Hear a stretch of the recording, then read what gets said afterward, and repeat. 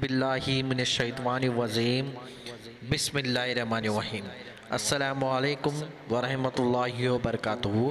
آج ہم مجلس اتحاد المسلمین پارٹی کے بارے میں بات کرنے جا رہے ہیں، جو اتر پردیش میں ایک نئی راجنیتی کے تحت وہاں پر میدان میں اتر چکی ہے اور لگاتار وہاں پر کام کے ذریعے سے مسلمانوں میں ایکتا پیدا کر کے دلت مسلم کمبینیشن بنا کر یہاں پر دلت اور مسلم کو ایک پلیٹ فارم پر جمع کرتے ہوئے مجلس اتحاد المسلمین پارٹی دکھائی دے رہی ہے۔ اور پورے اتر پردیش میں مجلس اتحاد المسلمین پارٹی کا جلوہ چل رہا ہے اور لگاتار ہر چھوٹے بڑے کے زبانوں کے اوپر مجلس اتحاد المسلمین پارٹی کا نام چلتا ہوا دکھائی دے رہا ہے۔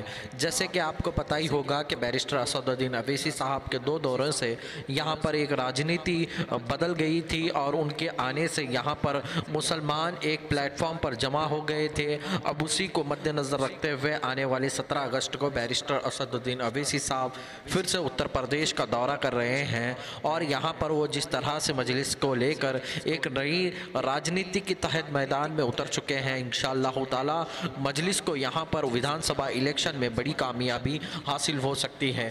کیونکہ لگاتار مسلم پرسنل لا بورڈ کے ممبر بھی اب مجلس اتحاد المسلمین پارٹی کے لیے یہاں پر اپیل کر رہے ہیں اور لگاتار مجلس کی کامیابی کے لیے وہ یہاں پر میدان میں اتر کر بیرسٹر اسد الدین اویسی صاحب کا ساتھ دیتے ہوئے دکھائی دے رہے ہیں۔ اسی کو مد نظر رکھتے ہوئے یہاں کی موجودہ سرکار سرکار اور یہاں کے بھارتی جنتا پارٹی اور کانگریس کے لیڈر کے پیٹ میں درد شروع ہو گیا ہے اور ان کی راتوں کی نیند خراب ہو چکی ہے۔ اسی کو مد نظر رکھتے ہوئے بیرسٹر اسد الدین اویسی صاحب کا سترہ اگست کا دورہ بہت ہی اہم رہے گا کیونکہ جس طرح سے یہاں پر سنکل بھاگیداری مورچہ کے تحت مجلس اتحاد المسلمین پارٹی نے آغاز کیا تھا اور اچانک سے مجلس اتحاد المسلمین پارٹی کو دھوکہ دیتے ہوئے پرکاش راجبر صاحب نے وہ بھارتی جنتا پارٹی کے ادھیک سے ملاقات کی اور یہاں پر جس طرح سے انہوں نے یہاں پر ایک کچھ قسم کی راجنیتی کو جنم دیا اور انہوں نے یہ کہا کہ مجلس اتحاد المسلمین پارٹی بھارتی جنتا پارٹی کا